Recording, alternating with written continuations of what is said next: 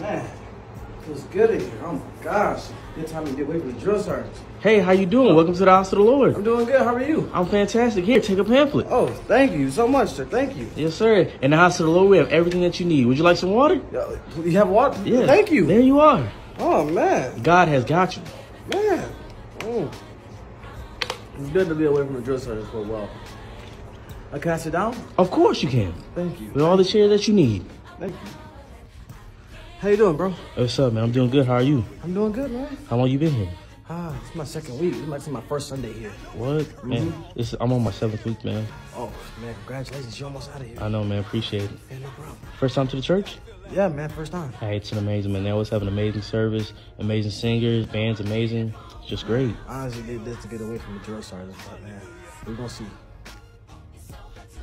Dear Lord, thank you for bringing all these trainees together on this beautiful Sunday so they can be in the house of the.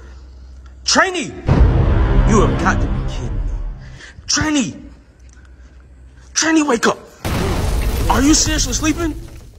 No, In the house of the Lord? I'm, sorry, sir. I just don't get much sleep while I'm training. I don't care about that. Mm. Stand up. Oh, uh.